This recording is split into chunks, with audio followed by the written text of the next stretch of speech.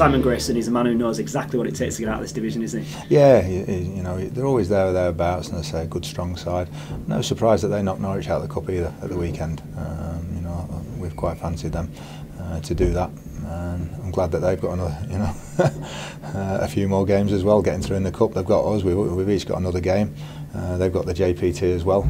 Uh, going for. So the more games they play, the better because we know how it feels. How do you make sure that you use last weekend as a catalyst for this weekend? Then back on home soil, making sure that when you've got a, a majority home crowd there, you are putting it on the front foot. You're trying to take what you can do in the cup into the league. Uh, we, we try and you know we try and do that in every game, uh, but it might even help us that we might not have you know as much of the game as we have done recently in home matches in terms of the teams that we're playing. Certainly MK Dons away that you expect them to have the majority of possession, and Preston might do at home on Saturday. So that just might enable us to play a little bit more like we do in the cup games so it might let you hit them on the counter almost. Well, it's difficult because if you're okay in possession yourself, which we are, mm. uh, then do you deliberately give the ball to the opposition so they can attack you and you can break at them? It's a, it's a very difficult dilemma.